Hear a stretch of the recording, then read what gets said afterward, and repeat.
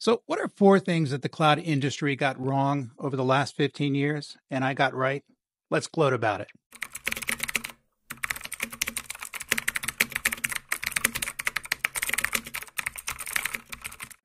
Well, welcome back to the uh, Cloud Insider channel, uh, where we talk about the truth of cloud computing and generative AI and how to make it work in the real world.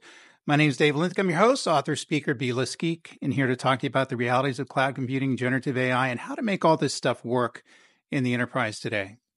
So I hope everybody understood kind of the tongue in cheek uh, take uh, when doing this title. I thought it was kind of funny. But there are lots of things I think that we assume to be correct based on some of the things the, the cloud industry was telling us over the last 15 years of cloud computing that turned out to be wrong. And some of these are opinions that I held. And I think it's important to take a critical look at, uh, you know, what we got right in terms of leveraging this technology and also what we got wrong and how we can change our behaviors in the future to correct this and uh, be right more. That would be nice. So, first thing, thank you very much for the uh, growth in the channel. I just uh, passed 15,000 subscribers. Never thought it'd get that big that quick. So, you've been about 45 days into it. Appreciate everybody who told a friend and subscribed yourself and has been giving the encouragement to to keep up with this. And I'm I'm happy that it's there, and I'm glad to speak with you guys every week on the realities of this stuff. And uh, I love the technology industry. I love working with people, and I love the comments that you guys have left for me. Keep it up. So many of these points came from my latest book, An Insider's Guide to Cloud Computing, specifically chapter one, where I talked about some of the assumptions that we thought were correct uh, and we're not. And uh, something things that the industry kind of led us to believe and turned out to be incorrect. Uh, and I've been a commentator in this space for over 15 years, believe it or not. Had my InfoWorld blog. I think I'm going in my 13th, 14th year at this time and uh, have a lot of uh, uh, experience in in in pro- trying to provide insights into where this stuff is going. And in some instances, I push back on the current wisdom in what the narrative was around the use of cloud computing, different aspects of it. And took some uh, arrows for that as well. Sometimes these were not uh, things that people uh, took kindly to when I pushed back on some of the values that people were pushing in cloud computing. But I think it's important that we look at one of the, things we got right as well as the things we got wrong. So we understand as we move forward with new technologies, in this case, things like generative AI, that we're taking a critical eye to things we're assuming now and understand that we can be wrong about a good many things. And it's okay to have a, uh, a different opinion on how these things are working and how cloud computing works, how generative AI works, how technology works in general. And so the healthy discussion, the healthy conflict out there, I think that's a good thing. Probably don't have enough of that right now. But keep in mind, this is really about getting the discussion going in terms of what are some of the assumptions I think the industry made around leveraging cloud computing, what turned out to be the realities, and how we should adjust moving forward. So, certainly, why this is uh, in my latest book. Uh, wrote a lot of articles over the last 15 years, and I referenced them below. So, I guess I brought the receipts uh, in terms of when I had these opinions and, and really kind of the logic behind it. Some things written back in, you know, 2000 uh, you know, 2011, 2012, uh, when we start, start, first started writing and speaking about cloud computing, at least when I started to get into it in a much more larger way. Um, and you have to remember that there are many more things I think that we have uh, said in terms of the cloud industry narratives that that ended up being wrong. And I think that uh, you know I I point out four of them here, but obviously there's more than four. I'm sure you can think of a few. And by the way, uh, put them down in the comments below if you. Uh, if you uh, have uh, something that you think the cloud industry got wrong, some assumptions that were made in the past that turned out not to be true, I think it's going to be interesting to discuss that. So, as I mentioned already, you know, some of this kind of came back on me. Um, a lot of times when I wrote an article about um, some uh, differences of opinion I had in terms of what the cloud narrative was and what the industry was saying versus what I thought the reality was, uh, those were some pushbacks that came back with uh, vendors calling up my editor, uh, contacting my employer, you know, looking to get me canceled, looking to get me fired, which is kind of weird because um, you think about it, all we have is a difference of opinion, but also that tells me I was onto something if they were pushing back that way instead of uh, putting up a disagreement and putting up a logical argument. Uh, they try to get me shut down. So kind of keep that in mind as you go through this stuff. And certain opinions may make you make you angry that you don't that you don't agree with. It's okay to have the discussion as to what your opinion is and why your opinion differs from that of somebody else. And so I found some of this stuff kind of got nasty uh, in the past. Don't get as much of it today, but you know, at the time, certainly cloud computing was exploding. A lot of people were investing in the cloud computing technology. They had an they had a vested interest in terms of what the cloud narratives were, and if I was going against it, then they push back on me, and they push back on me by uh, trying to uh, get me fired or uh, get me deplatformed.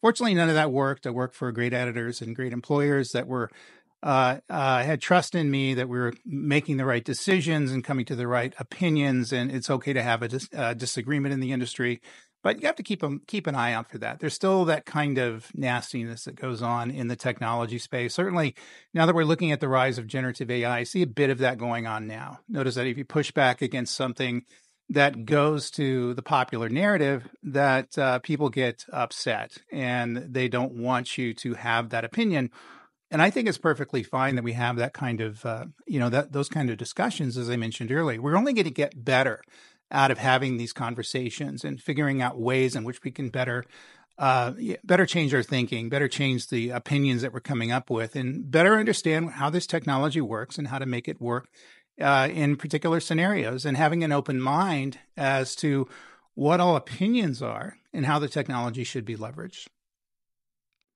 So let's go through the narratives that were uh, uh, prevalent uh, 15, 12 years ago, you know, back in 2009, 2010, 2011, when cloud computing first started to inflect and everybody was getting into uh, the mix of it. In other words, it was very much like generative AI today. The hype was starting to emerge and everybody was following the hype. So these were some of the uh, opinions that people had and some of the narratives that were out there. And the first one would be the cloud's primary benefit is capex versus opex. And so that's the argument that it's better to buy something as a service, in this case, cloud computing, because you're leveraging it as a utility. In other words, very much like we leverage our electricity companies and and uh, water companies, things like that, uh, versus buying the asset. And uh, you know, this was an argument that lots of people were making, and to be honest with you, it kind of it kind of made sense to me at first. In other words, I understand that it's probably better for me to rent something as a service versus buying it, and that should be that should allow me to get a uh, get off a bit cheaper because obviously buying hardware and software, implementing in a data center, hiring people to maintain it. Uh, is going to be expensive, uh, and leveraging it as a service, like I was leveraging software as a service and some of the applications starting to merge at the time, things like storage and things like compute, versus putting it in a data center, seemed like it was going to be a logical benefit to me. Um, however, came to realize quickly that that wasn't always the case. In other words, it wasn't always a slam dunk in terms of uh, uh, opex over capex, um, depending on how you modeled cost and how you modeled your scenario. So all of these things have to be taken on a case by case basis. So it never was capex versus opex. We, we, look at additional values of cloud computing, including the soft values, the ability to have agility, time to market compression, things like that uh, versus the hard savings, which are the cost savings from cloud computing. So those savings weren't necessarily guaranteed, and uh, in in many cases they weren't there. So uh, that narrative probably was not as true as people liked it to be at the time. And I did write and speak about it, and some people pushed back on that. But I think I was right. You know, all things said and done, if you look back at the 15 years and how people are leveraging cloud computing today, and where people are finding the value, it's definitely not about capex versus opex. Certainly not anymore. And kind of related to that was the cloud is always cheaper than on premises system. Notice I said premises. Um, so that, as we know now, that uh, we're kind of looking at the cloud bills in 22 was 2022 was kind of the epitome of this. People saw the fact that they were spending much more on leveraging cloud services than they were in some of the on-premises systems, and so those systems uh, made up of hardware. Well, that hardware has uh, been discounted a tremendous amount in the last 10 years. Uh, and cloud computing has either stayed the same or gotten a little bit more expensive. So we're finding that normally, generally speaking, cloud computing is going to be more expensive than traditional on premises uh, things that sit in a data center. Not always again, we have to take this on a case by case basis. But the narrative at the time, you know, 10, 15 years ago was that cloud computing is always going to be less expensive Uh, that's not the case. Sometimes it's less expensive. Sometimes we're able to find value in cloud computing over some of the traditional ways of deploying hardware and software. But it's not necessarily something you can say that's always going to be true. And so some people are able to find value in cloud because they're leveraging the value and other parameters besides just uh, operational costs. In other words, the ability to have agility, the ability to scale their systems, the ability to compress time to market. All those things can be a tremendous asset for many enterprises out there. But if we're just saying that cloud is always going to be cheaper than the on premises systems, that's not going to be the case. And so that was proven to be true, pre- proven not to be true. And that was the opinion I had at the time. And next would be um, the narrative that all applications and data sets will eventually be in the cloud. And that was kind of the uh, uh, battle cry uh, for the first five years of cloud computing that we're going this way anyway. You might as well make it work. And people were lifting and shifting and moving their data sets into the public cloud providers as quickly as they could. Um, that is not going to be the case. We certainly see that now. We're going to move to a heterogeneous platform, ubiquitous computing. We're going to run uh, applications and data sets on edge based systems uh, mobile based computing, things that exist within a traditional data center, uh, co location providers, managed service providers, all those things are fair game for where you're going to run your application.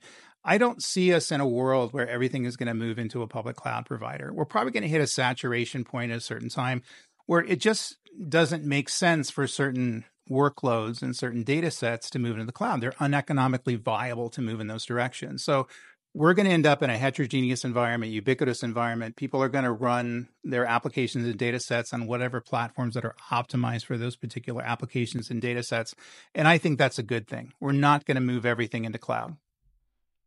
And the last one would be something I, I push back on pretty hard that the cloud drives more simplicity. Uh, that is almost never going to be the case. Uh, I can understand why people came to that conclusion because we were taking things on very complex heterogeneous environments on hardware systems that we had to maintain that existed in data centers that we owned.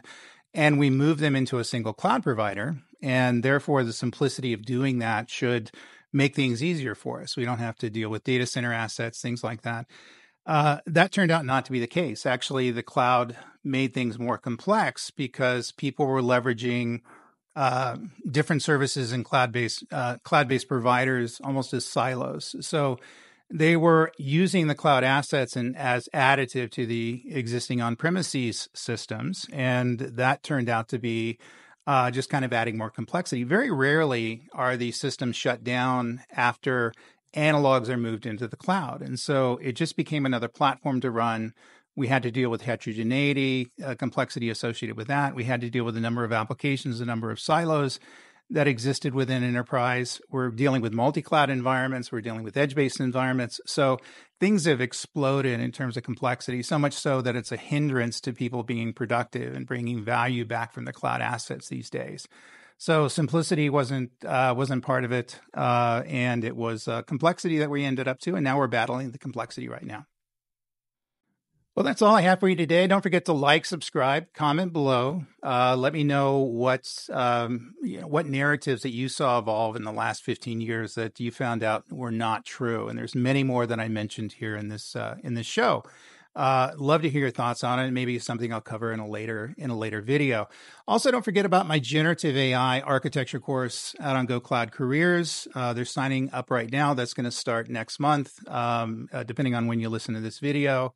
Uh, so please check that out. Uh, the links in, in the description as well. Also, my book, uh, Insider's Guide to Cloud Computing. Check that out. That's where a lot of this stuff came from, uh, where I where I highlighted the realities of cloud computing and certainly how we got things right in some instances, but got things wrong many times as well. Uh, don't forget my blog on InfoWorld. Don't forget my courses on LinkedIn Learning, and uh, check those out. So until next time, everybody stay safe. You guys take care. Bye bye.